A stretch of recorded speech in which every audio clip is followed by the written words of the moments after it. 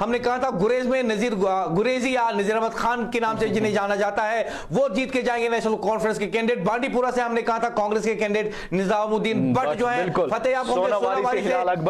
और इस तरीके से आज जो एक्चुअल पोल आया बिल्कुल बिल्कुल सही साबित हुआ और बांडीपुरा में भी हमारा एग्जिट पोल हंड्रेड जो है वो आज सही साबित हुआ बिल्कुल मुदसर